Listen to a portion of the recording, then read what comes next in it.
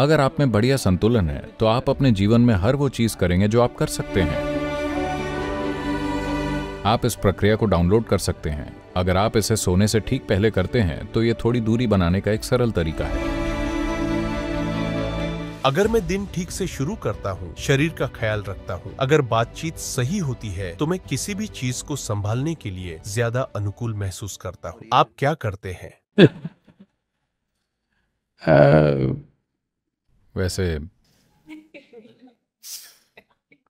मैं अपनी ज़िंदगी बेतहाशा जीता हूँ।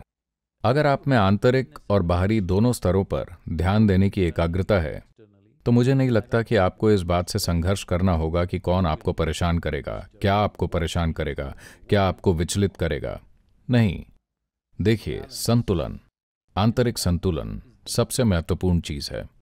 आपके पास बुद्धिमत्ता हो सकती है, आपके पास प्रतिभा हो सकती है आपके पास क्षमता हो सकती है, आपके पास कई चीज़ें हो सकती हैं।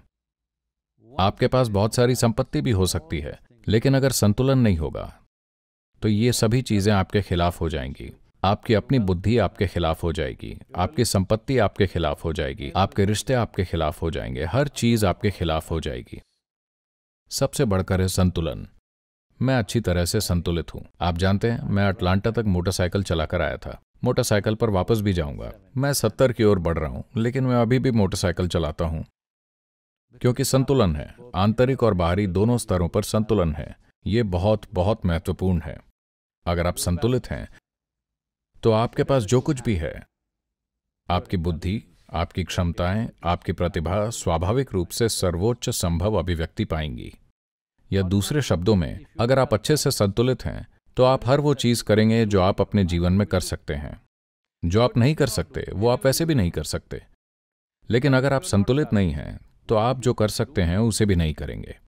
अपने जीवन में अगर आप वो नहीं करते जो आप नहीं कर सकते तो कोई समस्या नहीं है। पर अगर आप वो नहीं कर सकते जो आप कर सकते हैं तो आप एक आपदा हैं।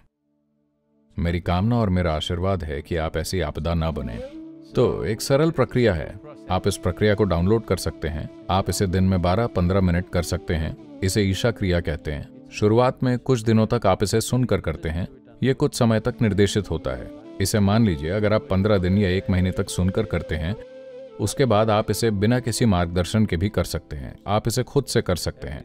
हर दिन बस खुद को याद दिलाते रहें और अपनी सांस को उससे जोड़ते रहें। खासकर अगर आप इसे सोने से ठीक पहले करते हैं तो ये थोड़ी दूरी बनाने का एक सरल तरीका है, आपके और आपके शरीर के बीच, आपके और आपकी मनोवैज्ञानिक प्रक्रिया के बीच।